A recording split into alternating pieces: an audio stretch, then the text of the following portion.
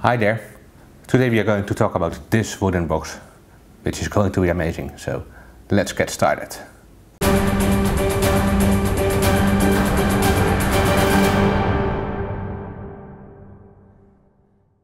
So welcome back. This wooden box I've been working on for the last nearly two months. I started end last year, beginning of this year, working on it for having the first ideas. And it's actually not just a wooden box, there's a lot of in it. And I've been posting a few photos on Twitter already and actually someone guessed what it is. So I really liked it. So let's have a look inside. Let's discuss what it is, what it isn't yet, and let's see how you can make one yourself. So let's open it and here we go.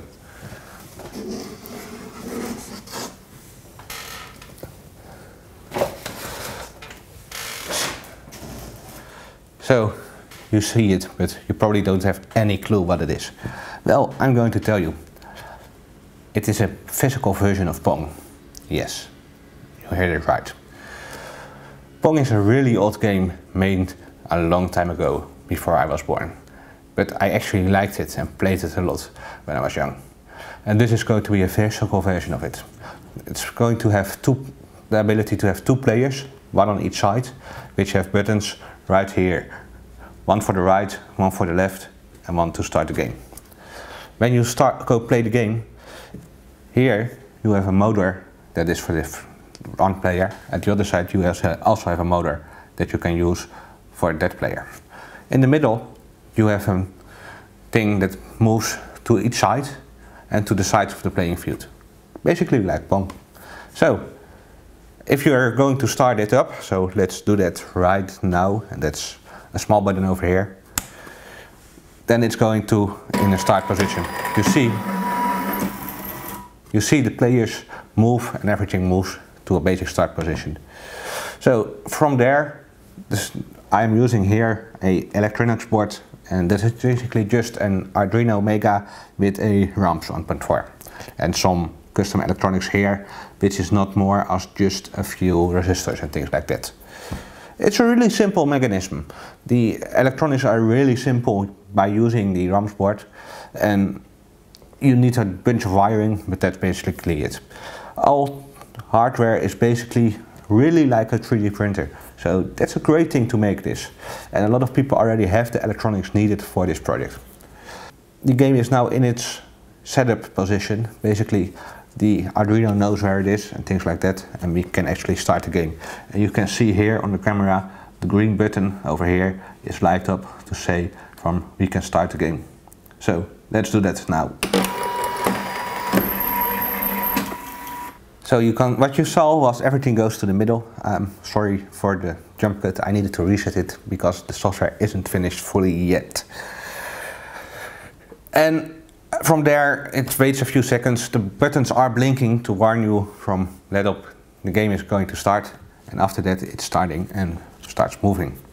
And basically, that's how far the software at this point is. And what the great thing is, is the software is going to open source. And not the software, all the parts are also available. So, the software is running on an Arduino and will be licensed under the MIT license. All the parts needed to print this and there are a few, uh, a few need to be printed multiple times, a few just once, are available under the Creative Commons uh, no, uh, commercial attribution license, which is a really common license for parts. The instructions to build it and the parts you need are available as well. However, I decided they are only available for a small donation. You will also keep up to date with everything changed and things like that. So you can get that for just 10 euros. The total price to build this will be around, I guess, 200 euros, depending on how you source the parts locally. For example, the wood can be really expensive, but that really depends on what you get and things like that. I also ordered way too much parts. I think I paid in total nearly 500 euros for everything because I have spare parts for basically everything. I have a lot of extra motors, uh, extra electronics, things like that. So it really depends on what you are going to get, but you can get it for pretty cheap. And it is pretty cheap to build as well. Um, it's just a few parts you need to mount to the wood and that's it basically. Um, I think I built this together after I finished the last revision of this parts in a day or something like that. So that's really nice to do. And as you can see, I also printed a lot of parts that were actually not good enough or were wrong or I made a mistake or something like that. And you can see those bunch over here. Those parts and all the parts in here are printed in MetaHackers build PLA and that's awesome stuff. It prints really nicely and I printed this really fast on the original Prusa MK2 and it came out great.